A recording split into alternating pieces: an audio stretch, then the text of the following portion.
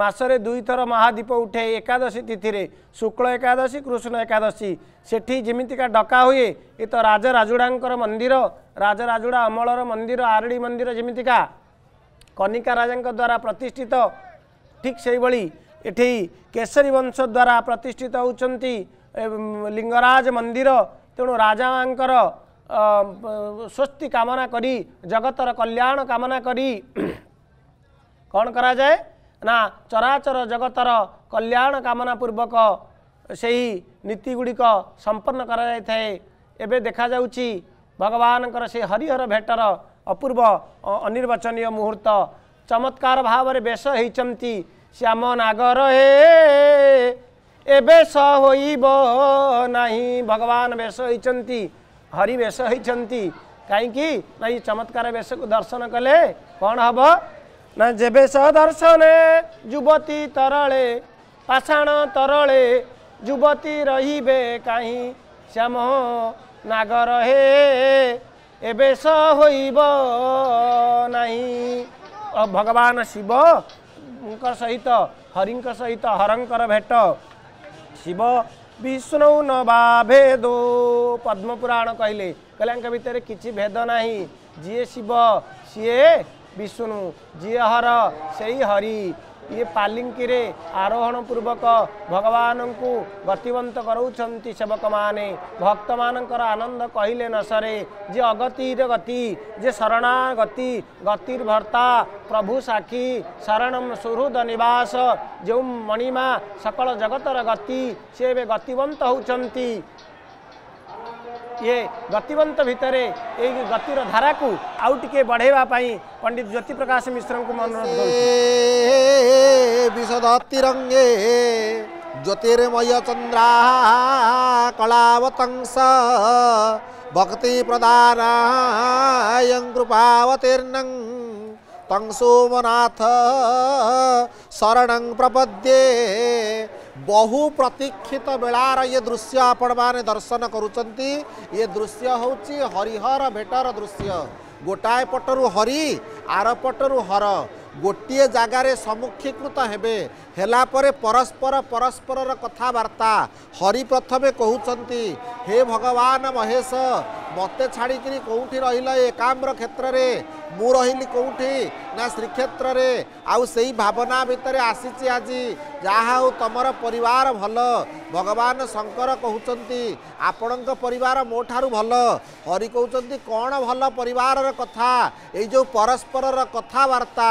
ଏଇ କଥାବାର୍ତ୍ତା ଭିତରେ ପ୍ରଥମେ ହରି କହୁଛନ୍ତି କହିଲେ ଏକ ପତ୍ନୀ ପ୍ରକୃତି ମୁଖରା ଦ୍ୱିତୀୟ ସା ଚଞ୍ଚଳା पुत्र त्रिभुवन विजयी मनमथ दुनिर्वार।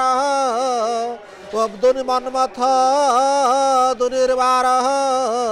शेष सज्या जलधिशयन वाहन पन्नगारी स्मारङ स्मारङ स्वगृहचरित दारुभूत मुरारी ଦାରୁଭୂତ ମୁରାରୀ କହିଲେ ମୋ ଘରେ ଯୋଡ଼ାଏ ପତ୍ନୀ ଏକ ପତ୍ନୀ ପ୍ରକୃତି ମୁଖରା ଜଣେ ହେଉଛି ପ୍ରକୃତିରେ ଟିକେ ମୁଖରା ଆଉ ଦ୍ୱିତୀୟ ସା ଚଞ୍ଚଳା ଆଉ ଜଣେ ହେଉଛି ମା ଜଗତର ବର୍ଣ୍ଣଦାତ୍ରୀ ପଡ଼ିଦାତ୍ରୀ ମହାଲକ୍ଷ୍ମୀ ଠାକୁରାଣୀ ସେ ହେଉଛି ଚଞ୍ଚଳା ଜଣେ ମୁଖରା ଉଗ୍ରତ ବା ହେଇଥିଲା ବେଳେ ଆଉ ଜଣେ ହୁଏତ ଚଞ୍ଚଳା ଗୁଣ ଯୋଗୁଁ କେତେବେଳେ ମୋ କଥା ଶୁଣୁନି ପୁତ୍ରମେକ ତ୍ରିଭୁବନ ବିଜୟୀ ମନମଥ ଦୁରିର୍ବାର ଗୋଟାଏ ପୁତ୍ର ପାଇଛୁ ଯେ ସେ ହେଉଛି ମନମଥ ସେ ହେଉଛି କ'ଣ ନା ସକଳ ଜନମାନସରେ ବସବାସ କରୁଥିବା। ସେ ଯେଉଁ କାମର ସ୍ୱରୂପ ତେଣୁ ସିଏ ବି ମୋ ଅକ୍ତିଆରରେ ନାହିଁ। ପୁଣି କ'ଣ ହେଇଛି? ନା ଘର କରିକିରି ରହିଛି ଶ୍ୱଶୁର ଘରେ। ଶେଷ ଶଯ୍ୟା ଜଳଧି ଶୟନ ବାହନ ପନ୍ନ ଗାରି ଯାହା ଉପରେ ଶୋଇଛି ମୋ ବେଡ଼ସିଟ୍ଟା ହେଉଛି ଅନନ୍ତ ନାଗ ଆଉ ମୋ ବାହନଟା ହେଉଛି ପନ୍ନଗାରି ଗରୁଡ଼। ୟାଙ୍କ ଭିତରେ କେବେ ବି ପଡ଼ା ପଡ଼ୁନି। ତେଣୁ ୟାଙ୍କ ସମ୍ପର୍କରେ ସିଏ ଆସିଲା ବେଳକୁ ଇଏ ଟଳମଳ ଇଏ ଆସିଲା ବେଳକୁ ସିଏ ଟଳମଳ। ତେଣୁ ସେଇ ଭାବନା ଭିତରେ ସ୍ମାରଙ୍ଗ ସ୍ମାରଙ୍ଗ ସ୍ୱଗୃହ ଚରିତଂ ଦାରୁ ଭୂତ ମୁରାରୀ। କ'ଣ ଆଉ ଶାନ୍ତି ମୋ ଜୀବନରେ ଅଛି?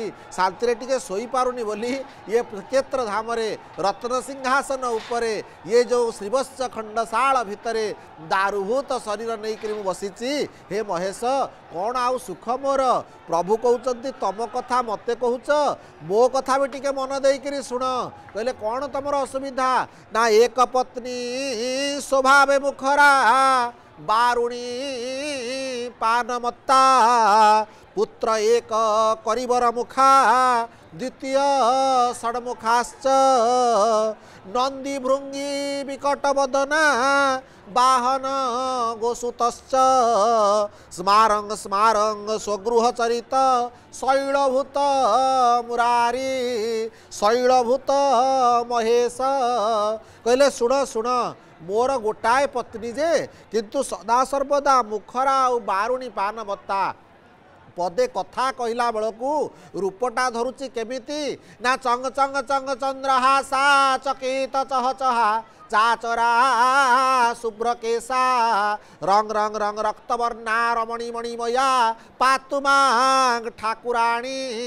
କହିଲା ଏଇଭଳିଆ ରୂପରେ ହେଉଛି ଗୋଟାଏ ପତ୍ନୀ। ପୁତ୍ର ଏକ କରିବର ମୁଖା ଗୋଟାଏ ପୁଅ ପାଇଛି ତାର କରିବର ମୁଖା କହିଲେ ତା ମୁହଁଟା ହେଉଛି ହସ୍ତି ବଦନ ସେ ହେଉଛି କିଏ ନା ଗଣପତି? ସେ ସିଦ୍ଧିଦାତା ବିଘ୍ନ ବିନାଶକ। ସକଳ ଜଗତର ସେ ହେଉଛି। ଏଭଳିଆ ପ୍ରଫେସର ଯେ ତା କାମରେ ସେ ବ୍ୟସ୍ତ ସେ କେତେବେଳେ ମୋ କଥାରେ ଯାଉନି। ଦ୍ୱିତୀୟ ଷଡ଼ମୁଖାଶ୍ଚ। ଆଉ ଗୋଟେ ପୁଅ ପାଇଛି ତାର ଛଅଟା ମୁହଁ। ସେ ଦେବତାଙ୍କର ସେନାପତି ବୋଲି ତା ମନରେ ଭାରି ଦର୍ପ ଦମ୍ଭ ଆଉ ଅହଙ୍କାର। ସିଏ ବି ମୋ ଅକ୍ତିଆରରେ ନାହିଁ। ନନ୍ଦୀ ଭୃଙ୍ଗୀ ବିକଟ ବଦନା। ଦୁଇଟା ଦେଇଛ କ'ଣ? ନା ଗୃହ ରକ୍ଷକ ଦ୍ୱାରପାଳ ଦେଇଛ ଯେ ସେଗୁଡ଼ାକ ବିକଟ ବଦନ। ତାଙ୍କ ମୁହଁଟାକୁ ଦେଖିଲା ବେଳକୁ କେହି ତାଙ୍କୁ ପସନ୍ଦ କରୁନି ବା ତାକୁ ନେଇକିରି ମୁଁ କେଉଁଠିକି ଯାଇପାରୁନି।